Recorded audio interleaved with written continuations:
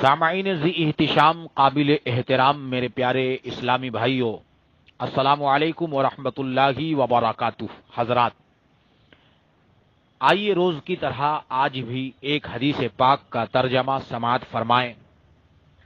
لیکن آپ سے گزارش ہے کہ مکمل گفتگو کو مکمل توجہ کے ساتھ غور سے سماعت فرمائیں۔ شروع کرتے ہیں۔ حدیث پاک کی مشہور کتاب بخاری شریف ہے۔ کتاب العطعمہ ہے یعنی کھانے پینے کا بیان۔ اور حدیث نمبر پانچ ہزار چار سو نو ہے۔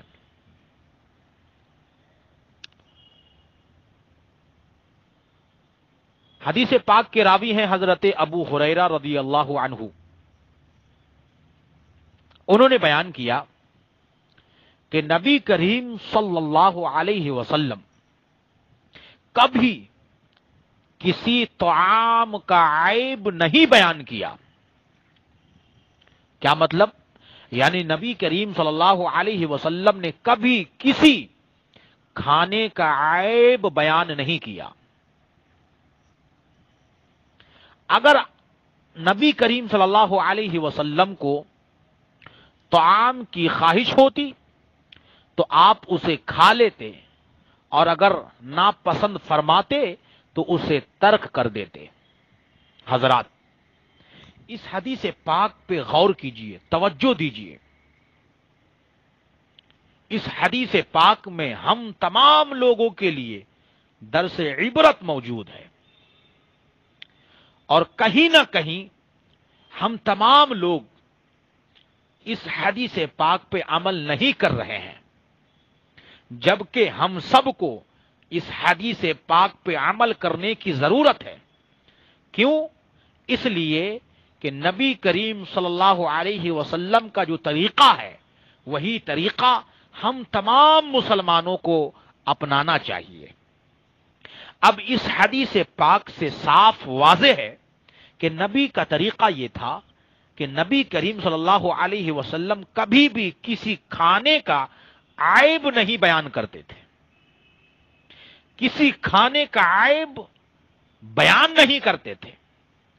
یعنی ایسا نہیں کہ کھانے میں عائب نہیں ہے پھر بھی عائب نکال رہے ہیں۔ اگر کسی کھانے میں کوئی عائب بھی ہوتا تو نبی کریم صلی اللہ علیہ وسلم بیان نہیں کرتے تھے لوگوں کے سامنے۔ لیکن آج کا معاملہ تو یہ ہے کہ کھانے میں کوئی عائب نہیں ہوتا ہے، پھر بھی لوگ عائب نکالتے ہیں اپنی طرف سے بنا کر کے لوگوں کو نیچا دکھانے کے لیے۔ آج تو ہماری اور آپ کی حالات یہ ہو گئی ہے۔ اللہ اکبر۔ تو نبی کریم صلی اللہ علیہ وسلم کسی بھی کھانے میں کبھی عائب نہیں بیان کیا۔ اگر کوئی کھانا آپ کے سامنے پیش کیا گیا، اگر آپ کو اس کے کھانے کی خواہش ہوتی یعنی وہ پسند آپ کو کھانا آتا، تو آپ اس کو کھانا کے طور پہ کھا لیتے۔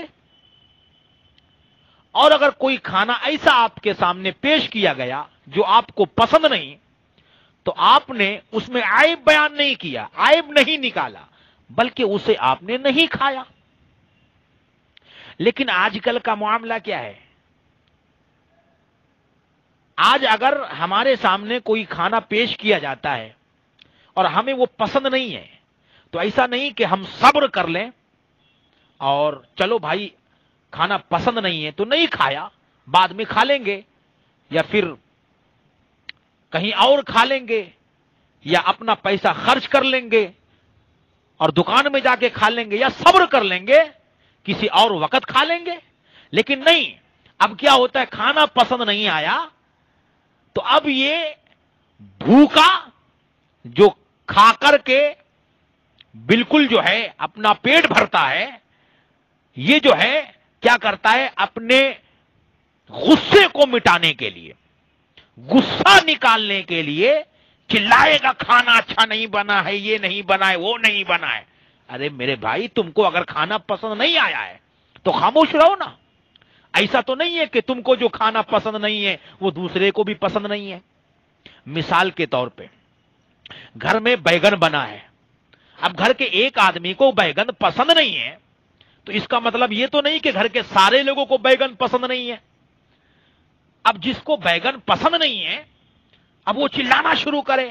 ارے کھانا تو ایسا بنا ہے، کھانا تو ویسا بنا ہے۔ کھانا اچھا نہیں بنایا ہے، کھانا اچھا نہیں بنایا گیا ہے۔ یہ نہیں ہونا چاہیے۔ لیکن ہاں گھر میں تو عام سی بات ہے کہ گھر میں سارے لوگوں کو پتا ہے کہ کون کون سا کھانا پسند کرتا ہے۔ تو لوگوں کا دھیان رکھا جائے، گھر میں اگر کوئی کسی کھانے کو پسند نہیں کرتا، کسی تعام کو پسند نہیں کرتا، کسی سبزی کو پسند نہیں کرتا، تو اس کے لیے وہ چیز بھی بنا دیا جائے جو وہ پسند کرتا ہے۔ لیکن اگر کبھی ایسا ہو گیا کہ ان کے لیے وہ چیز نہیں بنی ہے، تو تھوڑا کھا لینا میرے بھائی۔ بالکل پیٹ بھر کے کھانا ضروری ہے کیا؟ نہیں ہے نا۔ ویسے بھی آپ کو بتا دیا گیا کہ مومن جو ہے، وہ تھوڑا ہی کھاتا ہے۔ ایک آنت میں کھاتا ہے۔ بالکل گلے تک نہیں کھاتا ہے۔ تو نبی کریم صلی اللہ علیہ وسلم کے سامنے جو بھی کھانا پیش کیا جاتا، اگر وہ آپ کو پسند آتا تو آپ کھا لیتے، اگر پسند نہیں آتا تو نہیں کھاتے، صبر کر لیتے، لیکن کوئی عیب نہیں نکالتے۔ آج کل کیا ہوتا ہے، جب ہم دعوت میں جاتے ہیں، کسی کے گھر میں کسی نے دعوت دی، کھانا بنایا، اب اگر کھانا میں کوئی کمی رہ گئی یا خامی رہ گئی تو چلانا شروع کر دے گا۔ ارے، تم کو کھانا بنانا نہیں آتا۔ کھانا صحیح نہیں بنا ہے۔ موڈ خراب ہو گیا۔ ارے میرے بھائی، تم وہاں پر کھانا کھانے گئے ہو۔ کھانا پسند آیا تو کھاؤ، پسند نہیں آیا تو رسول کریم صلی اللہ علیہ وسلم کے اس طریقے پہ عمل کرو، اس کو ترک کر دو، مت کھاؤ۔ مگر کسی کو مت سناؤ۔ ہاں ایک طریقہ ہے۔ گھر میں کسی نے کھانا بنایا، نمک زیادہ ہو گیا، یا کسی نے مرچ زیادہ ڈال دی، تو ہو سکتا ہے کہ یہ نقصان دہ ہو۔ تو آپ وہاں پر حقیقت حال بتانے کے لیے ان کو بیان کر سکتے ہیں کہ کھانا میں نمک زیادہ ہو گیا ہے، مرچ زیادہ ڈال دی گئی ہے۔ تو یہ عائب بتانے کے لیے نہیں ہوتا، بلکہ یہ بتانے کے لیے ہوتا ہے کہ جب آپ پھر کبھی کھانا بناؤ تو یہ غلطی مت کرو۔ تو یہ طریقہ ہوتا ہے سمجھانے کا۔ یہ طریقہ ہوتا ہے بتانے کا۔ ایسا نہیں کہ کھانا میں نمک بھی صحیح ہے، کھانا میں مرچ بھی صحیح ہے، لیکن لوگوں کو نیچا دکھانے کے لیے یا لوگوں کا مذاق بنانے کے لیے کہنا، ارے کھانے میں تو نمک زیادہ ہو گیا تھا، ارے کھانے میں تو نمک زیادہ ہو گیا، کبھی کہے گا کم ہو گیا ہاں؟ کبھی کہے گا مرچ زیادہ ڈال دی گئی، کبھی کہے، ارے مرچ تو ڈالی ہی نہیں ہے۔ تو ایسا نہیں ہے۔ جیسا بھی کھانا بنا ہے، آپ کسی کے کھانے کی تعریف نہیں کر سکتے، تو برائی بھی مت کرو نا میرے بھائی۔ آپ کو پسند نہیں ہے، آپ مت کھاؤ چھوڑ دو، پسند ہے، کھاؤ۔ یہی طریقہ ہے نبی کریم صلی اللہ علیہ وسلم کا۔ تو ہم تمام لوگوں کو چاہیے کہ ہم اس طریقے پہ عمل کریں۔ گھر میں یا باہر کہیں بھی کھانا کھانے پہنچے یا کھانا کھائیں، کھانا پسند آئے، کھا لو، پسند نہیں آتا، چھوڑ دو یا تھوڑا کھا لو۔ اللہ تعالی ہم تمام لوگوں کو ان باتوں پہ عمل کرنے کی توفیق اور رفیق عطا فرمائے۔